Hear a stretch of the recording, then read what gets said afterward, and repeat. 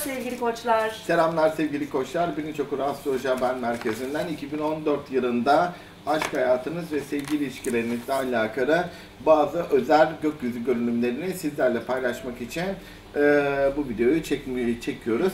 Şimdi e, Koç burcu ilginç bir dönem yaşıyor. Koç Evet. burcunda aşk hayatı ve sevgi ilişkileri ve ilişkilerle alakalı bazı etkilerle Evet, karşılaşacağız. ilişkilerle alakalı bu yıl e, sınavlar da var, ilginç değişimler de var. E, koçlar için özel ve önemli bir yıl içerisinde. Evet, evet. Bayağı gerçekten ilginç bir dönemde. Çünkü Uranüs Koç burcunda. Evet. Uranüs Koç burcunda hızlı hareket Evet. ederken ilişkilerde aslında pek çok da dengesizlik sağlıyor.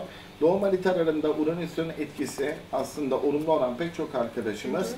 gerçek aşk ve sevgi ilişkileriyle bu yıl Evet. karşılaşabilirler.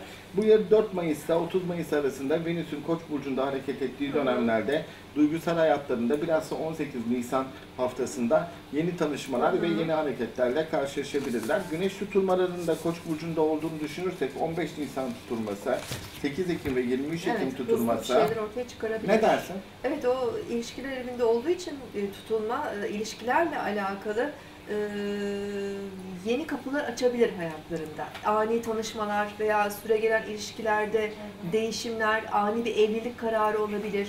Ama yolunda gitmeyen ilişkileri bitirebilir de bu tutulmalar tabii ki. Çünkü Sıkıntılı bir ilişkiyi, yanlış bir Evet. seçimi bitirebilir. bu Bir- yıl Mars da uzun süre te- karşıt evlerinde. Tabii ki aslında sonuna kadar. e, çoğunlukla Koç burcu için Hı problemli bir ilişkinin Evet. Problemli bir ilişkinin bitiş rahatlama, hı. yeni bir ilişkinin başlangıç yılı olarak görünmekte. Yılın en şanslı günü olarak İkinci ben yarısı daha iyi görünüyor. 18 Jüpiter Ağustos. geçince e, yeni aşklar, Evet. e, özellikle genç koçlarda yeni fırsatlar daha fazla gündemde görünüyor. favori gün 18 Evet. Ağustos. Mutluluk der.